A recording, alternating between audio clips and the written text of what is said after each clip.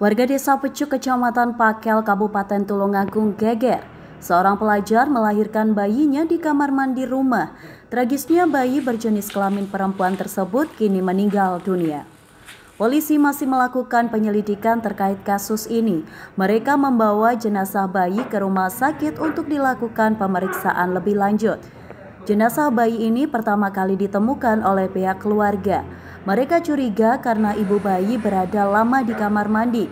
Saat didobrak mereka menemukan jenazah bayi dalam kloset, sedangkan ibu terlihat lemas usai melahirkan. Ibu bayi ini kemudian dibawa ke rumah sakit untuk menjalani perawatan karena sudah mengalami pendarahan usai melahirkan.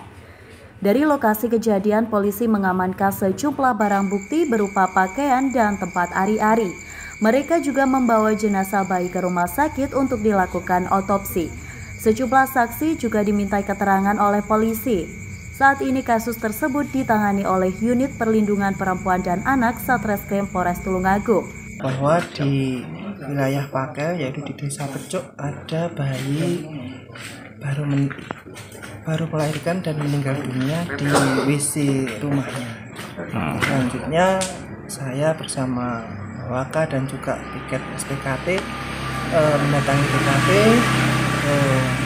ternyata di TKP untuk bayi sudah dimandikan, dikafani dan untuk uh, ibu dari bayi yang meninggal itu sudah dibawa ke rumah sakit dokter SK.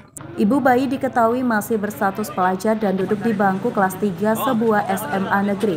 Polisi masih melakukan penyelidikan terkait kasus ini. Dari Tulungagung, Sogi Pamungkas, KSTV.